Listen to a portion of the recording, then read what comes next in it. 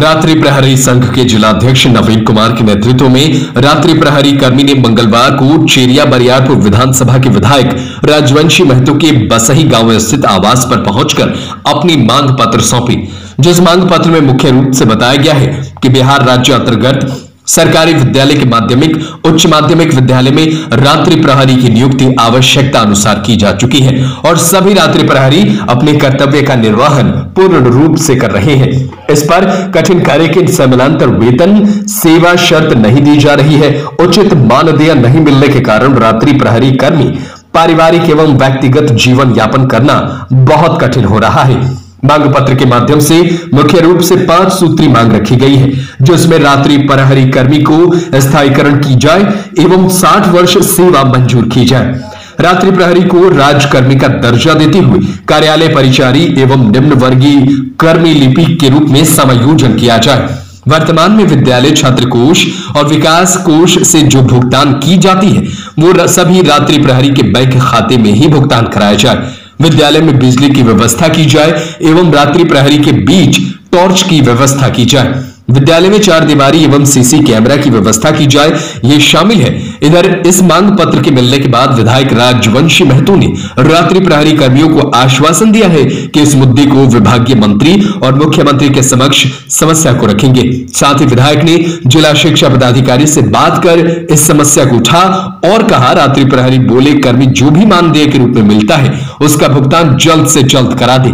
जिस पर जिला शिक्षा पदाधिकारी ने कहा कि दो तीन दिन में सभी रात्रि प्रहरी को खाते में ही मानदेय की राशि भेज दी जाएगी। मौके पर जिला कोषाध्यक्ष राम प्रवेश यादव अविनाश दीपक शंकर मुन्ना नलिन राम कुमार राजेश कुमार धर्मराज राजेश अर्जुन पंकज रोशन कुमार गौतम कन्हैया आदि मौजूद थे।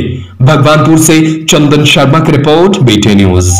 रात्रि प्रहरी के जिला अध्यक्ष ने आपको आवेदन सौंपा है इसमें क्या कहना चाहेंगे? देखिए रात्रि प्रहरी का जो मानदेय है बकाया उसके बारे में भुगतान नहीं हुआ है अभी तक। डीओ से अभी हम बात किए।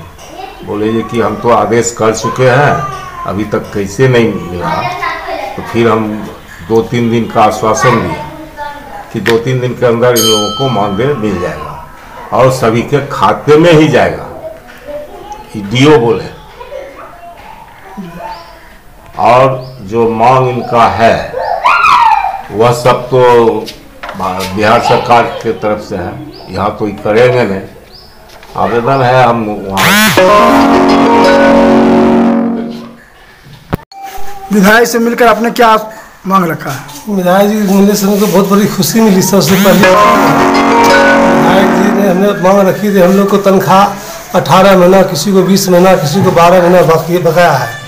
विधायक जी ने डी साहब को फ़ोन लगाए वहाँ से आश्वासन मिला है कि तुम लोग को पैसा दो से तीन दिन में चला जाएगा आपके खाता में। तो सर से हमने यही आग्रह किए हैं, हम लोग को सरकारी कर्जा, कर्मचारी के रूप में दर्जा दिलाया जाए और हम लोग को सौ समय ड्यूटी लाया जाए, हम लोग को दिन में भी परेशान हेड मास्टर साहब करते हैं, दिन में हमको ड्यूटी पे नहीं लगाया जाए। और सदन में हमारी मांग महोदय रखें और हम लोग को आगे भविष्य बढ़ेगा गरीब आदमी हम लोग हैं और हम विधायक जी को हार्दिक अभिनंदन करते हैं। क्या नाम है आपका? राम प्रवेश यादव। क्या है? हम जिला के कोषाध्यक्ष हैं। विधायक जी का का क्या मांग रखी है?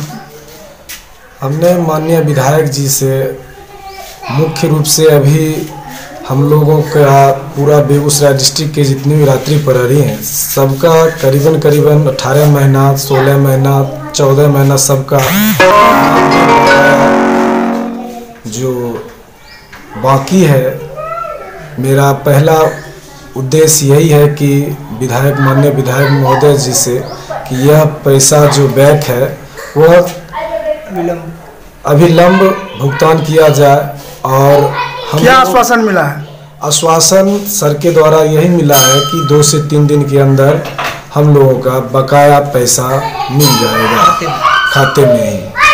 पर इनसे हमारा आग्रह है कि हम लोगों का एक टाइम जो है, जो होता है किसी भी मजदूर का, वह निर्धारित किया जाए और समय हमें पैसा भुगतान किया जाए और एक न्यूनतम मजदूरी दर जो होती है, वह माननीय विधायक महोदय जी से आग्रह करते हैं कि वह हमारे सदन में यह बात को रखे और हम रात्रि प्रहरियों को एक राजकीय कर्मचारी की दर्जा दिलाने की कृपा प्रदान करवाए इसके लिए हम जिला रात्रि प्रहरी सदा इनका आभारी रहेंगे क्या नाम है आपका? नवीन कुमार प्रखंड चिड़िया बरियारपुर प्रखंड कॉलोनी उच्च प्रखंड कॉलोनी चिड़िया बरियारपुर।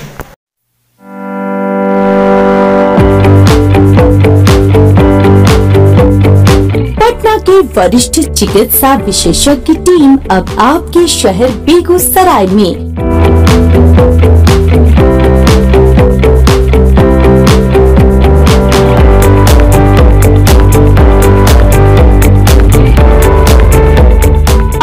ज्योति हॉस्पिटल जहाँ इमरजेंसी सुविधा ICU, HDU, OT, dialysis facility उपलब्ध है।